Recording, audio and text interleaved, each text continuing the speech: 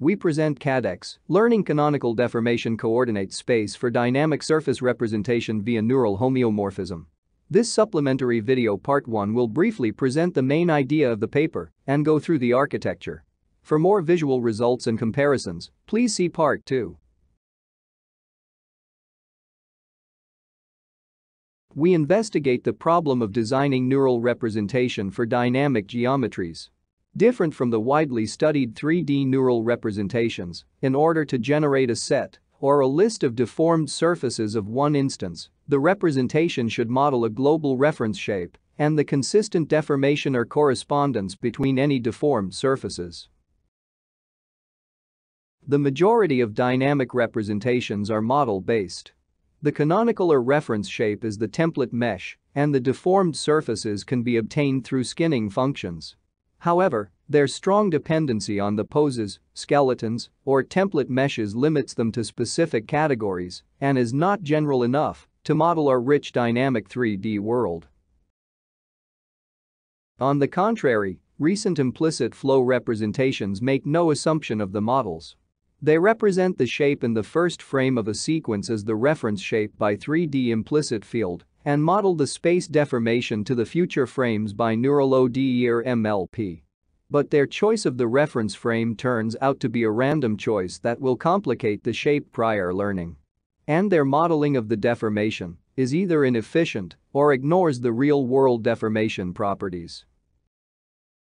Different from the current literature, we design a novel dynamic representation based on the insight of deformation factorization. We model the consistent deformations via compositions of continuous invertible canonical maps and model the reference shape in the induced learnable canonical space. Our representation is simple, efficient, and guarantees many real-world deformation properties. Now, we introduce the main idea of our paper. The canonical deformation coordinate space and the canonical maps. Assume surface Si, Sj, and Sk are deformed surfaces of one instance. If the surface topology is not changed, the points on the surfaces are associated with the well-behaved bijective deformation functions Fij, Fjk, and moreover, Fik. We should note that if we directly model the deformation functions between any surface pair as the function f shown in the figure, we have to consider the cycle consistency of combinatorial many deformation functions between surface pairs. Instead, we propose a novel factorization for the deformation.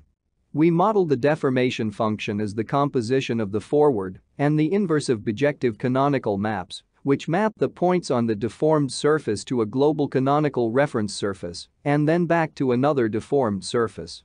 The canonical maps are denoted as H shown in the figure with green bidirectional arrows. Note that each canonical map only associates one corresponding deformed surface to the global canonical surface. Our factorization enables modeling the canonical shape directly in the induced canonical deformation coordinate space.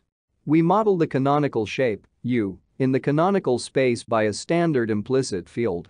Since the canonical maps are learnable, the induced canonical space and canonical shape are also learnable. Finally, each deformed surface can be immediately obtained through the inverse of the corresponding canonical map. The bijective canonical maps can be simply and efficiently implemented via conditional real NVP or NICE. The novel factorization and its implementation induce several desired properties of the real-world deformation. Our representation guarantees to produce cycle-consistent deformation or correspondence and preserve the topology of the surfaces. If desired, the canonical maps implemented by NICE will preserve the volume of the geometry Compared to previous methods, our modeling of the deformation is simple, efficient, but simultaneously guarantees real-world properties. Our representation of the canonical shape in the learnable canonical space is more flexible and stable for shape prior. Until now, the definitions above would lead to infinitely many valid canonical shapes and maps. Since any surface that is topologically isomorphic to the deformable instance satisfies the definition.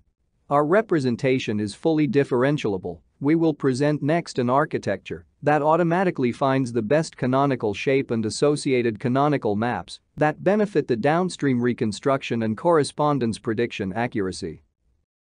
Our architecture solves the dynamic surface reconstruction and correspondence tasks based on the proposed representation.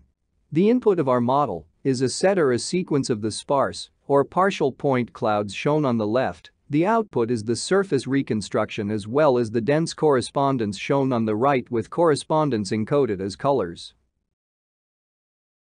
We first go through the training phase.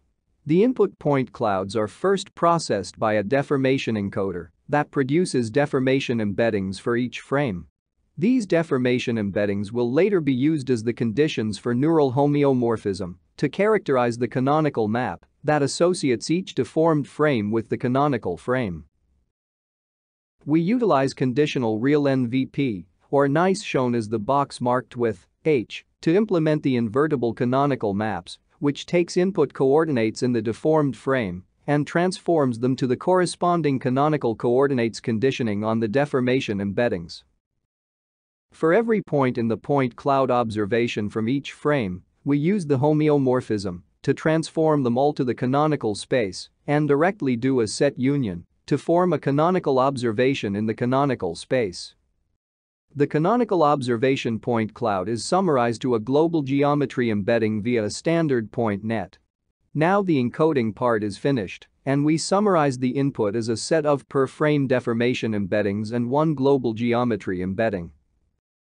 To predict the occupancy field value at frame TI, the query position in the deformed frame is first canonicalized to the canonical coordinate via the homeomorphism conditioning on the corresponding deformation embedding of this frame. The canonical coordinate is then sent to a standard occupancy network decoder conditioning on the global geometry embedding to predict the occupancy value. This prediction is supervised via a standard binary cross-entropy reconstruction loss. To predict the correspondence, the source point coordinate is first canonicalized to the canonical coordinate and then directly mapped back to another frame via the inverse of the homeomorphism conditioning on the target frame's deformation embedding. If the ground truth correspondence pairs are given, we can optionally supervise this prediction as well.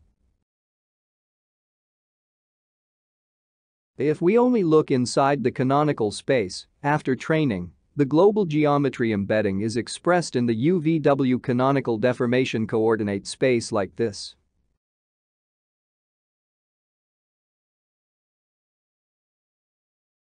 During inference, the encoding part works the same as the training phase, and we obtain the global geometry embedding as well as the per-frame deformation embeddings. Then we regard the neural homeomorphism as well as the canonical occupancy decoder as a whole query function so that we can march the first deformed frame and extract the mesh in the first frame.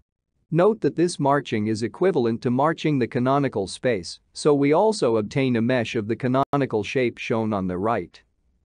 From the mesh of the canonical shape, we can immediately and parallelly obtain all meshes for other frames via passing the vertices of the canonical mesh through the inverse of the homeomorphism and using the same connectivity. Since these generated meshes share the same connectivity, the mesh correspondence is therefore directly produced. More details are in our paper. And more results are in part 2. Thanks for watching.